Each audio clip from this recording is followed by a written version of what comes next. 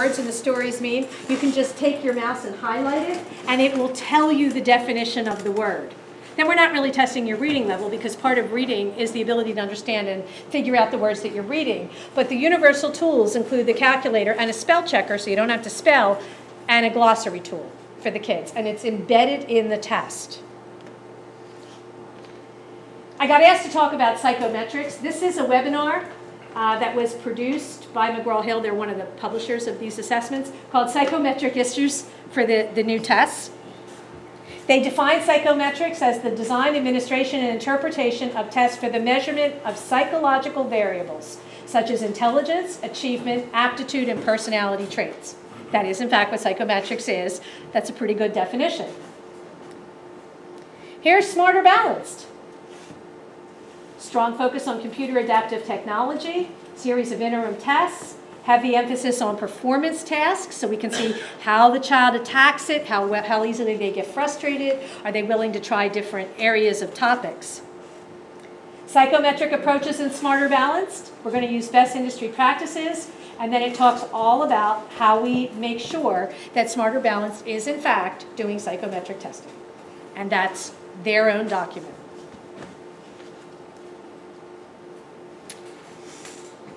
Psychometric testing, um, this is the computer. The content must be assured along with psychometric information in selecting items. So they select the items in a way that is designed to elicit other than academic information. Um, it can talk about, in, in one of the sample questions uh, that I saw, it, it um, talked about U.S. foreign aid and how our levels of foreign aid to Afghanistan resulted in uh, those poor Afghanis flying planes into the World Trade Center on September 11th. They weren't Afghans, and they weren't poor. But by manipulating the information that's presented in tests, we can change what our kids think, and then by designing questions, we can move them into a correct answer.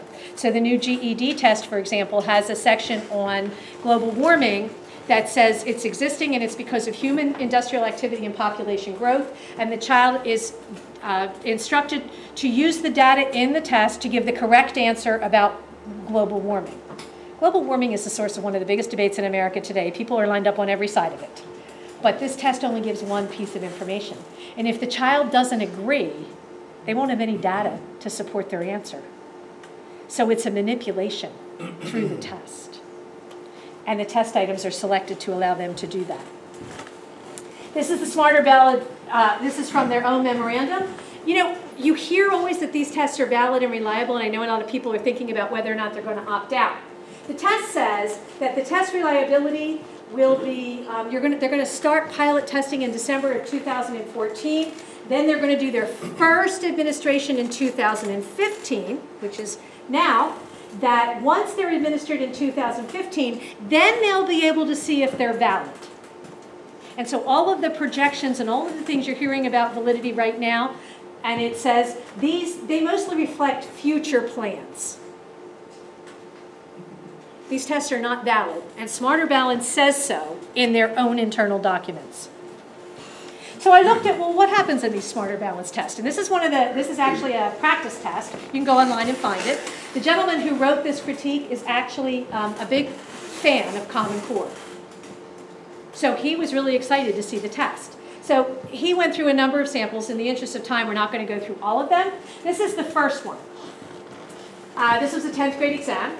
So there's two cars. Justin's car can, dra can travel 77 and a half miles with 3 and 1 tenth gallons of gas. When was the last time you saw gas given in fractions instead of decimals?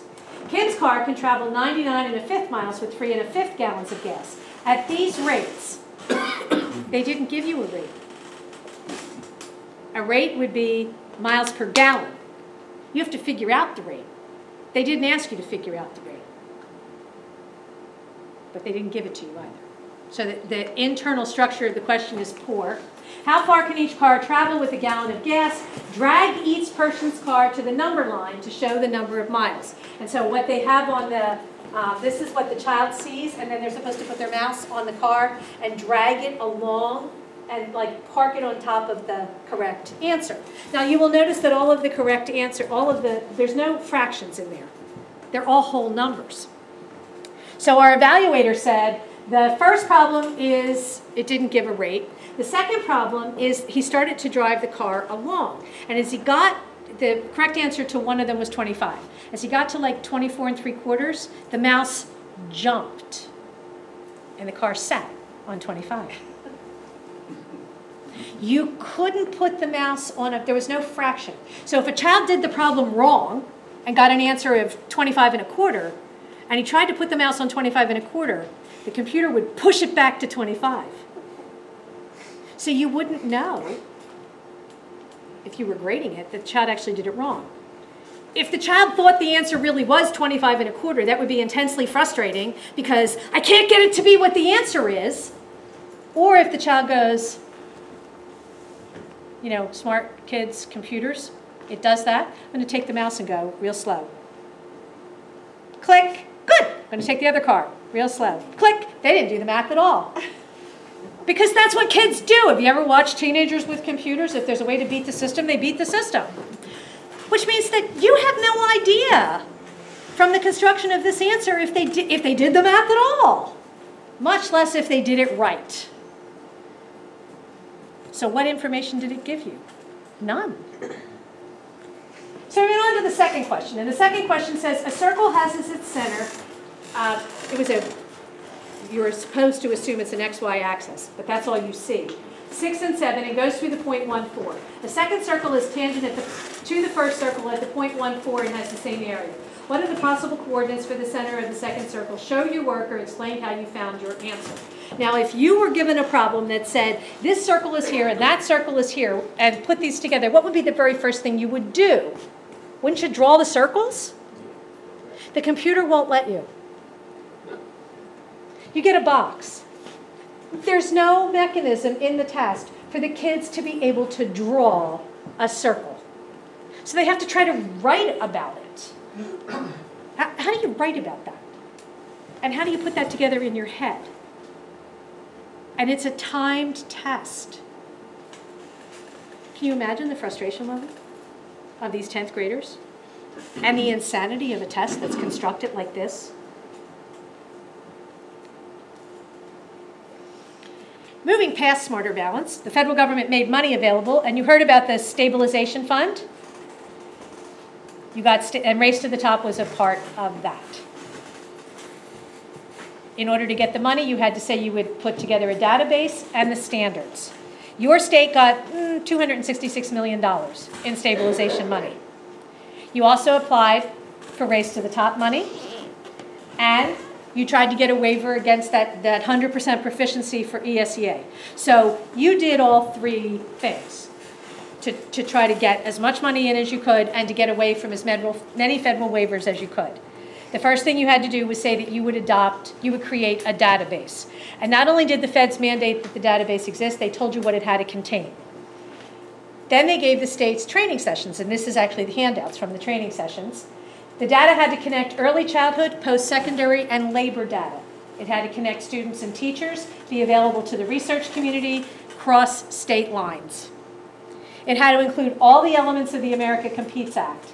Student enrollment and student transcript, that doesn't sound too bad until you think about all the things you tell a school when you enroll your child, and all the things that are included in your child's transcript, including disciplinary records. So this year, for example, in Texas, two nine-year-old boys were having an altercation in the parking lot. One of them had evidently just seen the movie The Hobbit.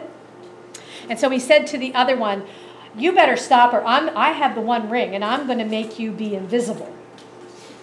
And he was suspended for making terroristic threats. And the father came into the school and said, you know there really isn't a one ring, right? Like he really couldn't make the child invisible. These were two little boys, you know, jawing at each other in the parking lot. It was pretend.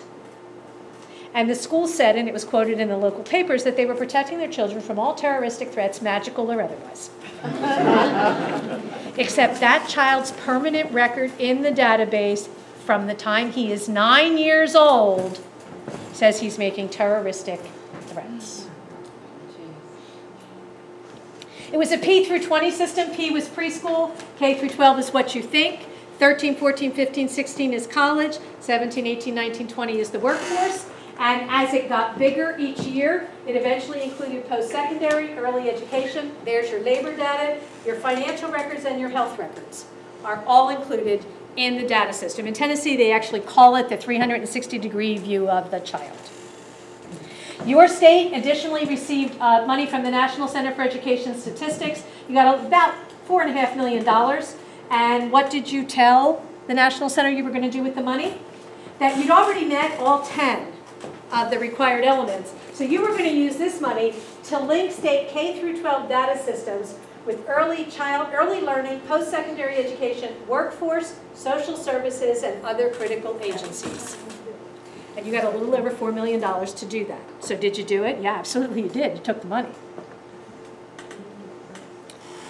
Here's the essential elements that every state had to put in, same ones we just saw. And West Virginia is yellow, which means you have all 10. Your state in your um, race to the top said that you were also going to be incorporating a common set of data elements. See, if the data has to be able to cross state lines, then there can only be one database. Because otherwise, it, it can't cross. If you've ever done computer programming, if I code this as a 6 and you code it as a 7, we can't talk to each other. And your state said, well, you went to the Common Education Data Standards. Here is the Common Education Data Standards. It's a, from the U.S. Department of Education. It's the P through 20, early learning through post-secondary and workforce environment. And there's all different data standards. There's over 400 data points. This is, I just pulled one screen. You notice that this one includes your dental records. Disciplinary records, health screening, did you ever deal with children and youth, military service, income levels? They're all in there. I just pulled one screen. You can see there's A through Z, and if you if you look that up, you'll find it. Additionally, your state said that you had developed a partnership with the Department of Health and Human Resources to gather early childhood education data. They are maintaining records on children receiving pre-kindergarten through their birth to three years old program. And now you're develop, you developed a partnership with the higher education and the Department of Labor's to gather post-secondary data. This is the Department of Labor's database. It's called the Workforce Data Quality Initiative. It links the uh, student longitudinal data system with workforce data so we can track individuals through school and into and through their work life. The objective is to enable workforce data to be matched with education data to create a longitudinal data system with individual level information, beginning with pre-kindergarten through post-secondary schooling all the way through entry and sustained participation in the workforce and employment services section. It is a lifelong dossier that is being developed, and it's a collaboration between the Department of Education and the Department of Labor. And the data includes, here in West Virginia and in every other state, we go to all of the other um, agencies to link the data together, and we start, as your documents say, from birth. So if your kid's in a daycare center, they start assessing them right away.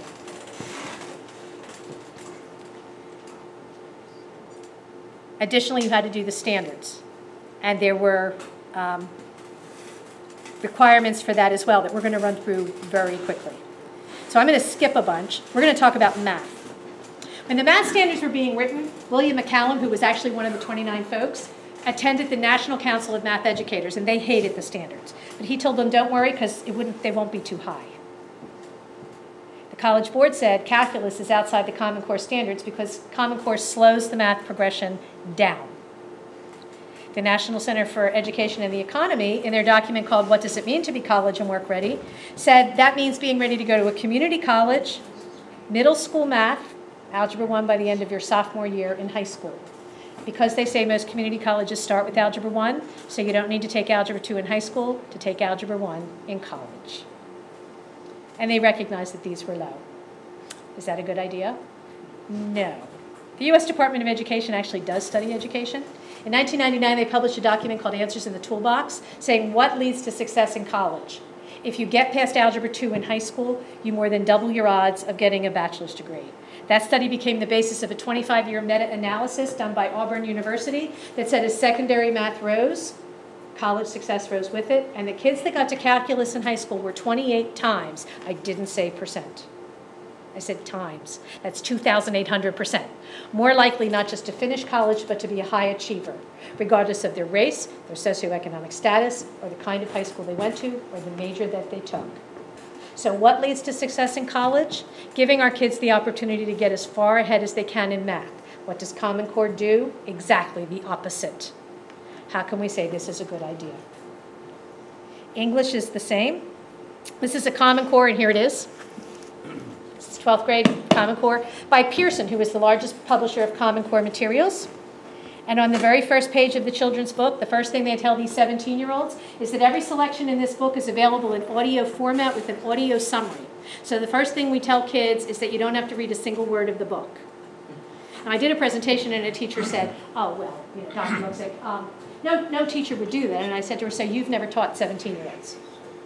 Because if you tell 17 year olds you don't have to read it, Guess what they're not going to do? They're not going to read it.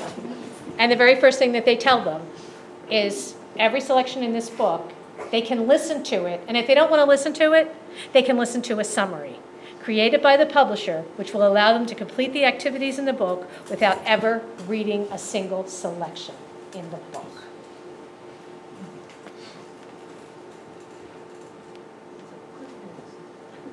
Now, this is my granddaughter. And why am I showing her to you? Well, she's adorable. But because you have a face just like that in your life. One that when you see it, it makes your heart sing. In my state of Pennsylvania, the Department of Education testified in front of, on behalf of Common Core, and they called the children widgets. And yes, they used the word. And they said, well, you know, if you buy a hamburger in a McDonald's in this city, and then you go to that city and buy a hamburger, it's the same hamburger. So no matter where the schools are, shouldn't the children be the same? Is the hamburger the client of McDonald's or the product? It's the product. When did our children move from being the clients of the educational system to being the products of the educational system? And if they're the product, who's the client? Does anybody think that we do to the hamburgers something that's good for the hamburgers? No. You do something to a product for a client. Common Core isn't something we're doing for our children, it's something we're doing to them. I get asked all the time, why did you come here? Because I need to protect that face. And you have a face just like that. And now you know the truth. I get asked all the time, are we going to win? It's amazing how many women are leading this charge. That's not an accident. It's been said that fathers will die for their children. God love you, gentlemen. That's true. Mothers will kill and when the federal government decided to declare war on the children of America, they forgot all of those kids have moms and grandmoms attached, and there will never come a day when we're going to say, oh, that's okay, you can have them. But how fast we change this depends entirely on you. The worst thing you can do is nothing. Stand up, get involved, protect your own children. Support the legislators who are supporting you. Work on the ones who aren't. I get those little ones have one shot at their future. They are waiting to see what you are going to do to protect them.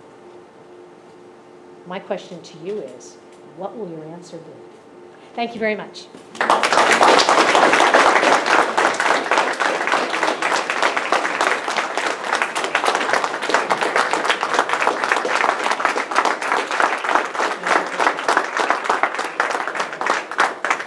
Okay.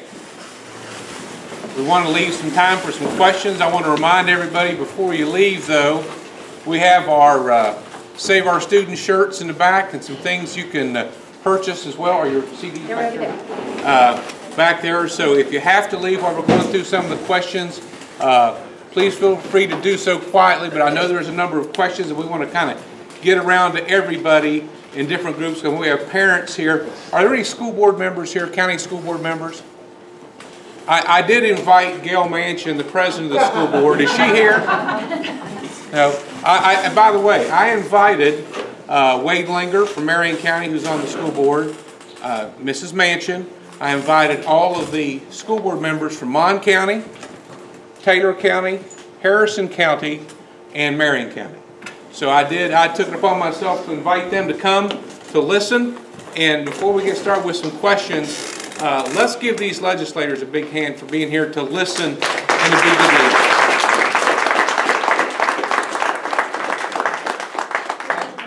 you wanted to ask a question first? Go ahead. Um, This is an objection that I heard down in Charleston this year, was that, uh, um, that this, the Common Core, the standards, the curriculum, the curriculum problems are not the standards issues, okay? And so, um, I believe that, from what I've researched, that the curriculum's job is to try to get to the standards. Am I, I'm right there? Um, one of the, the- the objections was that the curriculum was purchased hastily from a company that produces it in China because the Chinese are good at math, is basically what I heard from somebody that said, since the Chinese are good at math and they use the Chinese company to select, and, and that was the objection, it was a problem with the curriculum here in West Virginia. Do you have any comments on that? Yes. Um, Actually, let's look at the federal government. This is from the federal government, and we kind of jumped over this for time. The federal government, when they brought the states together, said, here's the standards, we have to approve your standards. Here's the assessments, we have to approve your assessments. You must align the instruction to the standards and the assessments. It goes like this. If the standard is everybody has to make a chocolate cake that tastes just like my chocolate cake and has the same texture as my chocolate cake, see my cake, it's a really good cake. And the assessment is I'm coming to taste your cake. How many recipes can there be? One, because you won't pass the test. In fact, Stan, if I control the test, I control what is taught. The largest publisher of Common Core materials actually is Pearson, and they're a British company, not a Chinese company. So, it, and are their materials poor? Yes, they are very poor. But all the Common Core materials are poor because the Common Core itself is poorly constructed. So, the, the whole goal is to grab control of every level of education. And when you talk to teachers, all over the country, what they say is some of them are telling me, I walk into my classroom and I'm being handed, this is what you're going to say today. So that we're all teaching the same thing. If you listen to the proponents of Common Core, one of the arguments that they use, although not so much anymore because I've debated a few of them, but they used to say all the time, was this is for the children of the military because everywhere they go, they need to be able to jump in and out of school, so the schools all need to be doing the same thing. Well, if the curriculum's different, how can that work? So it's, it is designed to be one curriculum. And in fact, um, the National Center for Education and the Economy, they did the document that we looked at, what is, uh, what does it mean to be college and work ready? That actually says what is tested is what is taught.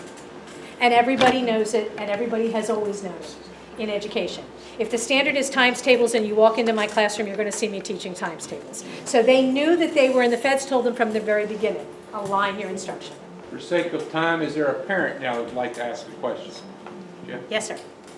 With respect to the longitudinal data system that you were describing earlier, I think we can all understand why individuals and families would see that as a bad thing and a dangerous thing.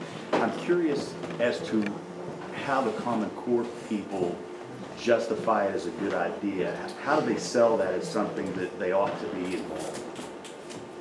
Let me tell you what they're doing in Delaware, because that's the fruition of the plan. In Delaware, Delaware got the very first round of Race to the Top money, so they're, they're ahead of everybody. In Delaware, they start assessing the children at one year, daycare centers are required to assess. There's a pre-kindergarten entrance, they assess their language and their cognitive ability, and in fact, you're doing that in West Virginia too. They give them all kinds of assessments, and by the time they're in eighth grade, the students have to have what's called a student success plan in place. That plan, the government uses all of the information, and the school gives them what's called a career matchmaker. It's a list of 10, up to 10 um, careers that the child can choose from. They must choose from within the list. And then all of their high school is geared toward reaching the career in their student success plan. Parents can look at their child's student success plan, they cannot change it. And that's right in the documents. The folks pushing this are very open about the fact that this is workforce development. Uh, Delaware has signed in on to the Commission on the New American Workforce that calls for uh, a rehash of school to work. That there will be labor management boards authorized by the federal government that will determine the labor market needs of the region. And then the purpose of the schools is to make sure that we have people slotted in to fill those slots. So it's really two worldviews competing most parents see education as this is opening doors so that my child can be what he wants to be. But the proponents of this see education as creating a workforce with each worker having the skills they need to do their job and nothing else, so that we have kind of a planned and stable system, and they see that as a good. So it's really two worldviews But but competing. what about going beyond school into the, once a child graduates and takes a job and they continue, they continue to monitor the information? Yes. Or, or the health records and the dental records? What's that, how do they justify Um, that? What they say is that we need all the information, all the access to health and dental and family records to um, determine if this child might be at risk, to do early intervention, to be able to make sure we move them in the correct path in this student success plan. And the labor data, it includes like your wages and if you've ever been on unemployment to see well, okay, where did you come from and what was it worth? It's, it's kind of a rating system that, that they're looking at. And, I mean, most parents go, ooh, yuck. But I've debated proponents of this, and they actually think this is a really good idea. So it's not, this isn't a hidden conspiracy. They're really very open about it, and, and they're very proud of it. So um, you, you can actually read it. The, the guy who wrote the document, What Does It Mean to Be College and uh, Work Ready, the president of that organization is a man named Marc Tucker. If you Google Marc Tucker, M A R C, Marc, you will find a 1992 letter written to uh, Hillary Clinton upon the election of her husband. It's been read into the congressional record. And it actually talks about this whole new plan for the purpose of education and its workforce development and the labor market boards. And he was very proud of it. And he had a document then called um, America's Choice High Skills or Low, Low Wages. And in 2013, it's called America's Choice Tough Times or Tough Choices. And you can put the words and the, the graphs on top of each other. It's the same document. No more resume. It's You an go- you can electronic Go to apply for a job, for the federal government job first probably, or the service. They look up your permanent record that's been maintained by your public school system. And everybody knows somebody who's messed up in high school who turned out to be a great contributing member of the community uh, after, after school and, and over the years. Another legislator now has a question. Community leader. Yes, sir. Yes, sir. We've been hearing all along, and I've heard, I'm sure that our legislators have heard this, we've all heard from our boards of education and whatever, that this data is never shared and never leaves the state. And that's what's being told us. No, that is, that's, I'm, I'm sorry, that's just, That's what- Factually that's incorrect. That's what they're telling everybody. I know. Um, what they do is they cite a federal law called the Federal Education Rights and Privacy Act, FERPA. In 2011, the U.S. Department of Education rewrote the regulations around FERPA. And the new regulations say that anyone who has a, and the, the quote is a legitimate educational interest or is an, um, an agent of the educational system, and that includes vendors, can have access to the data. And how do you know they have a legitimate educational interest? They fill out a form and tell you that they do. So, and the data, as you saw in your own state, is being made available to researchers on an ongoing basis. I was in, where was I? I was in Rhode Island. And a mother said that her little one was in some research thing in Rhode Island that was supposed to be all private. And two years later, she got a call from a researcher in Florida who wanted to follow up on the Rhode Island information. Well, how did they find her? And how did they know if it wasn't identifiable? And it has to cross state lines because that's an element of the America Competes Act. So it's, it's, this is a, they tell you things that I wish that they were true, but they're not. Delegate Butler. Yes. After we passed a repeal bill in the House and went to the Senate, the senators, I think, were promised, and I was told this, that we can fix this, we can tweak it, and. Actually, I was in Tennessee. I testify in front of lots of state legislatures, so I'm in front of a bunch of them. I was actually in Tennessee in front of the Senate Education Committee, and one of the representatives of the Common Core was there, and the senator said, just what you asked. Well, what if we don't like some of these? Can we take them out? And the guy said, well, you can add up to 15%. And the senator said, but I want to subtract some. And he said, well, you can add up to 15%. And the senator said, so in other words, the answer is no. They're copyrighted. You may not change them. They are a package, you have to keep them, and in fact, that's what your Race to the Top grant said, that you had to promise you would accept them as a package deal in total. You don't have that option. Parent question. Yes, sir? Uh, I'm from the state of Maryland, most of these cities from the state of confusion. And uh, we have so many problems down there. How do we get rid, how do we get rid of Common Core? Where, what's, where do we go, who do we see, what do we have to do? What is happening across the country is state legislators who were not involved in the adoption are beginning to be involved in the repeal. So just this week, the uh, state of Tennessee passed legislation repealing it. It- It's, it's kind of a weak bill, but they did it. Uh, South Carolina repealed it. Oklahoma repealed it. But then the feds step in and just change the name and try to bring it back. So this is going to be a process, but it's the same thing we did with outcome-based education and school to work in the 90s, and you just have to be more stubborn than they are. The answer in the end is to tell the federal government, go home. As long as the feds are in charge, you can't stop it. I've gone to my grandchildren's schools and just looked at the books, Mhm. especially like the history books and some of the math books and all. It's ridiculous. It's really sad. The, the history changes that Dr. Luksik said, talked about are on your disc, right? If you don't take anything home with you, find a way to take that disc home, people won't believe that you can talk about American history and not include Thomas Jefferson or World War II and not talk about Dwight D. Eisenhower. They, they, they'll, they think we're quacks, and in fact, tomorrow or sometime next week, as typical for our State Board of Education, they will attack you.